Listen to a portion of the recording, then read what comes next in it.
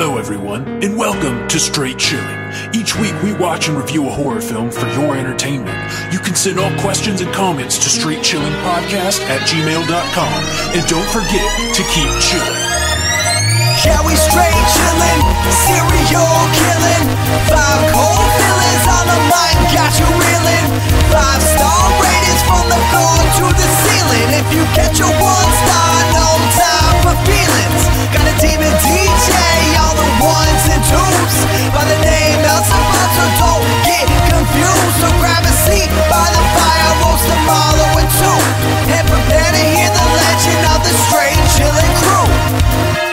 What up, nerds? My name is Bob, and welcome to another mini cast in which we bring you a bite sized version of the show you know and love. Um, so, today we're going to be talking about uh, the new movie Annabelle Comes Home from 2019.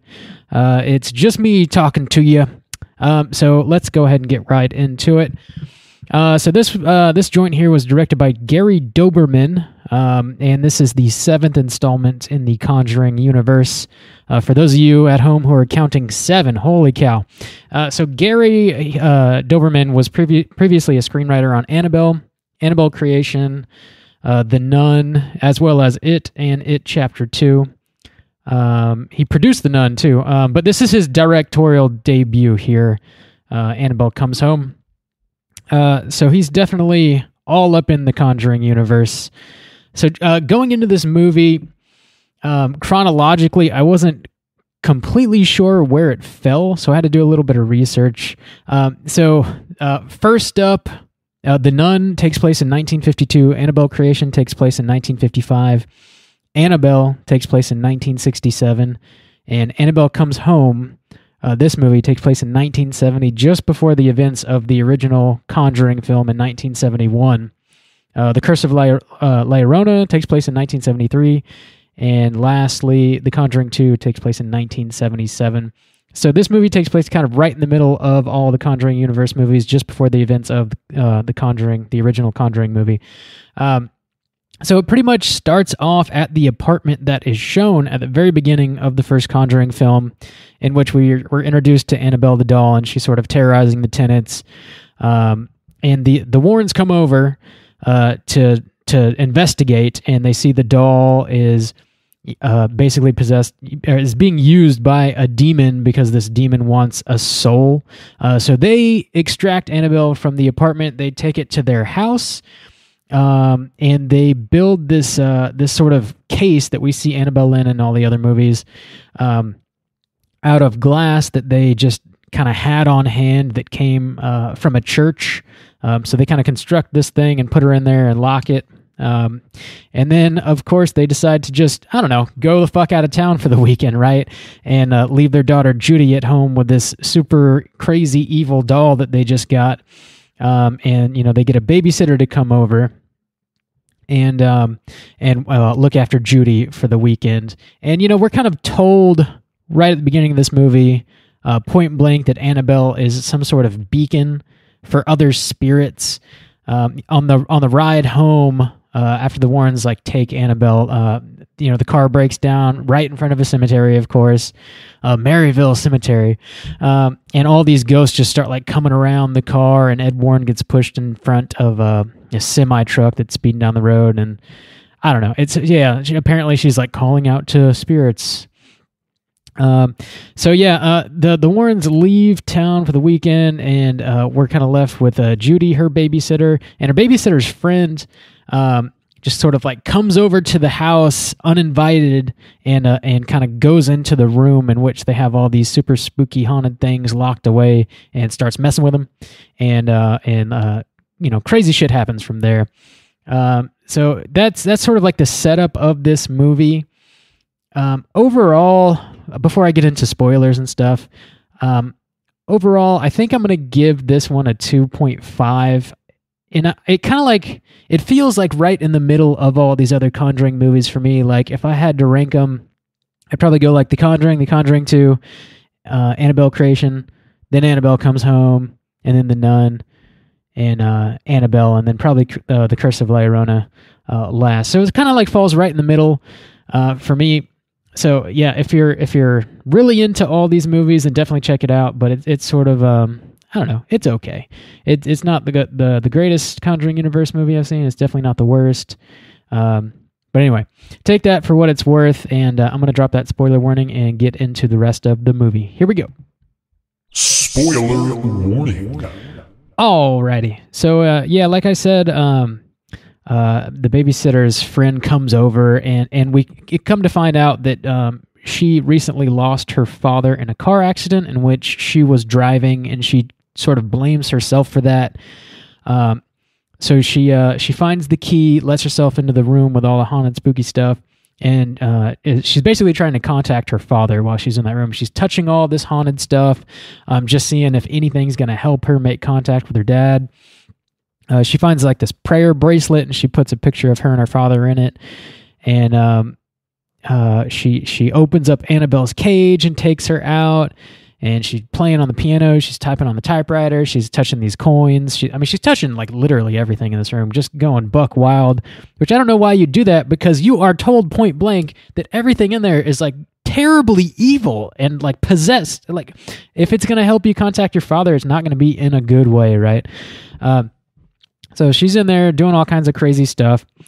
And uh, yeah, Annabelle like gets out of her cage and she's you know she wakes everything up uh, in the room, um, and pretty much from that point we're kind of it felt to me as if I was just like sitting in in like a pitch room with the director and he's just like pitching all these uh, various conjuring conjuring universe spin-off ideas that he had. And he's like you know what about what about this? What about that? So you just you get like a couple minutes of like spooky uh spooky things and you're you're kind of like uh you don't get much background for any of them you get like a little bit but not enough to really fully understand any sort of mythos.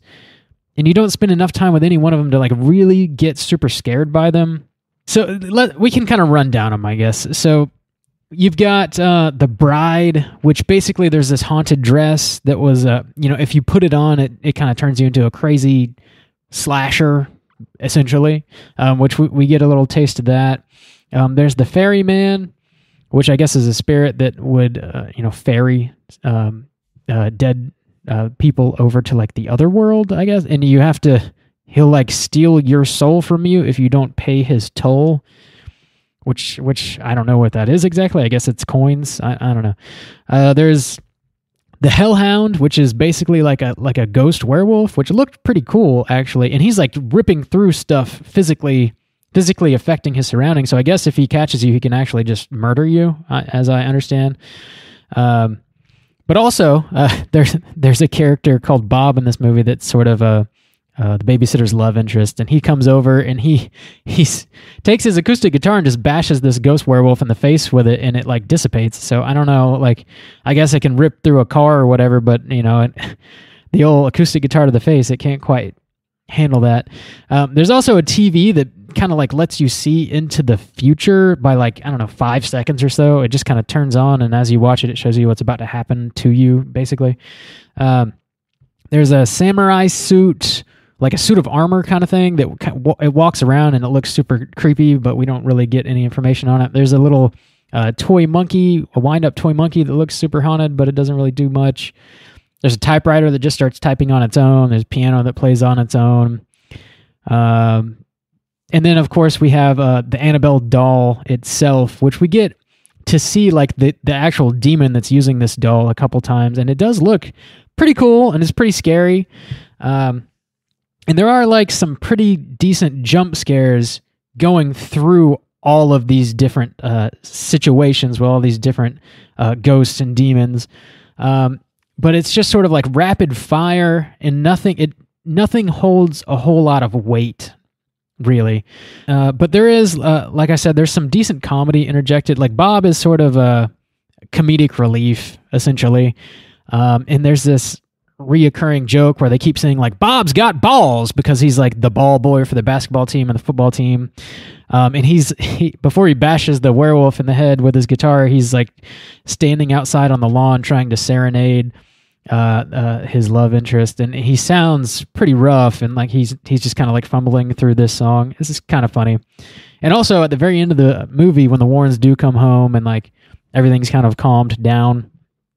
Uh, there's uh, Ed, Warren sits down at his daughter Judy's birthday party with his acoustic guitar, and I was like so hoping to get yet another Elvis cover because I know like he plays through an entire Elvis song in The Conjuring 2, and people got kind of butthurt about that. But I thought it was kind of funny, and I was really hoping they were going to do that again, but they just roll credits before he starts playing. So bummer. The movie's also it, it's it's intensely atmospheric. It's got a ton of fog. Um, and it does some cool stuff with some of the lighting, but it's a, it actually looks too dark in certain scenes to where you can't quite make out what's actually happening.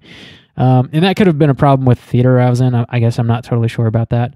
Um, but uh, yeah, it was kind of kind of difficult to see what was going on.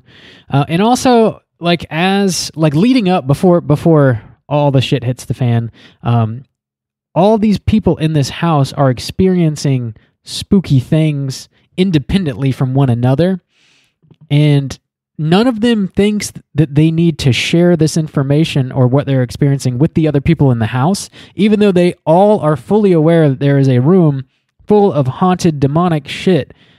Like, like I don't know why they don't share that with each other, you know. And they're like asking, like, "Oh, are you okay?" And I'm like, "Yeah, of course, everything's absolutely fine. Why wouldn't it be fine?" It just doesn't really make much sense to me. And at, seeing that over and over again gets a little frustrating. Um, but yeah, overall, this movie, like I said, it's okay. I'm to give it a two and a half. Uh, the Rotten Tomatoes on this, the critics are sitting at a 70%, the users are sitting at a 72%. Um, and Cooters, if we're talking Cooters in this movie, I think I'm actually going to cast a vote for Annabelle, the Annabelle demon, to be a Cooter. Because um, it it's super manipulative uh, in the fact that it's just like trying to get a soul and it uses like um, the girl's uh, dead father and kind of plays on that. Um, and it, it, it, impersonates Lorraine Warren's voice on the phone, um, stuff like that. And it's also, uh, I guess you could say it's very self important, right? It's very full of itself because it's trying to take people's souls. You're not going to do that if you don't think you're very important. And also, the dress is a little played out, Annabelle. Come on. You're, uh, you're a tire. What the fuck? What are you doing? Uh, update that shit. Yeah, but that's uh that's pretty much my thoughts on Annabelle Comes Home. Um, I think if you're like trying to make a decision on something spooky to watch like this week, um, in in the battle of these like uh, creepy doll movies, I think I would recommend Child's Play over this. Uh, even though like Child's Play itself is a remake, it still it still manages to feel more fresh to me than Annabelle Cre- or Annabelle Comes Home did. It's just um, this movie feels a little regurgitated. You know, we're seeing the same shit over and over, the same style of scares. Now, Child's Play felt a little bit more fresh, which is kind of ironic, uh, and I just had more fun watching it in general. Uh, but yeah, that's uh, that's pretty much it. That's my thoughts on Annabelle Comes Home. Um, stay tuned. Uh, as per usual, we're gonna have uh, a new episode coming out later this week. We're to be talking about Midsommar, and it's to be a full length episode. Um, so until then, as always, everybody, please keep chilling.